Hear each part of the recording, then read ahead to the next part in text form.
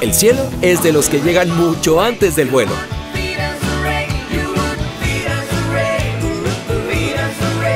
Y también de los que hacen todo lo posible para llegar a tiempo. Avianca, el cielo es de todos.